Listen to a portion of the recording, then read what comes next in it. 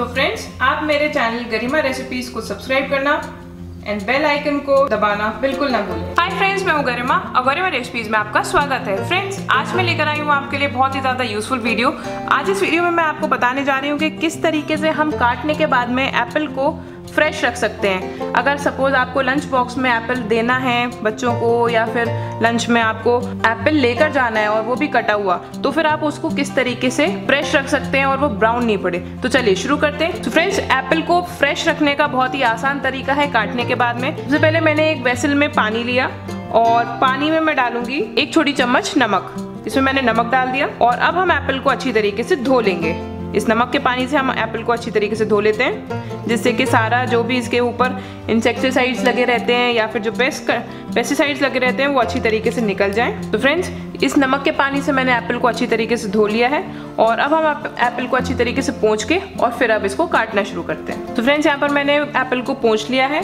और अब मैं नाइफ की हेल्प से, अब आप ये देखिए मैं किस तरीके से काटूँगी एप्पल को। पहले हम चारों तरफ़ से एप्पल को काट लेंगे। सो so, आप नाइफ़ को इस तरीके से चलाइएगा। ये मैंने नाइफ़ को ऐसे चलाया और इसको दबा के रखिए। इस कॉर्नर को जो आपने काटा है इसको ऐसे दबा के रखेंगे। नेक्स्ट फिर हम दूसरा कॉर्नर काटेंगे। ये मैंने इस कॉर्नर को काटा। ये साइड काट दिए मैंने। अब हम इसको काटेंगे। मैंने इस तरीके से काट दिया। और अब ये लास्ट जगह को काटेंगे।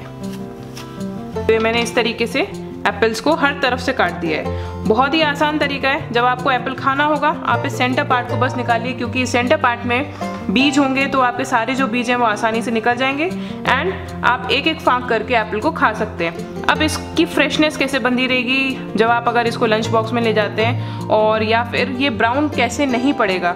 सबसे ज़्यादा ज़रूरी है कि एप्पल ब्राउन ना पड़े। तो हम इस एप्पल को इसी तरीके से टाइट रखेंगे। ये जैसे कि मैंने अभी तक इसको टाइट रखा है। और अब मैं एक रबर बैंड लूँगी। साफ़ रबर बैंड लेंगे आप। और इसको इस तरीके से इस रबर बैंड को ऐसे लगा देंगे।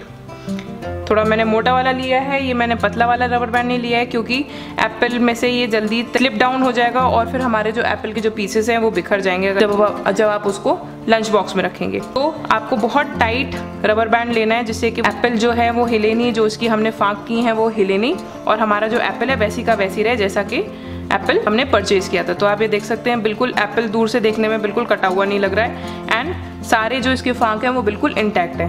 और आप इसी तरीके से आप इसको अपने लंच बॉक्स में रख सकते हैं। तो ये लंच टाइम तक आपका जो एप्पल है, वो बिल्कुल ख़राब नहीं होगा। इसका अंदर का जो पार्ट होगा, वो ब्राउन नहीं होगा।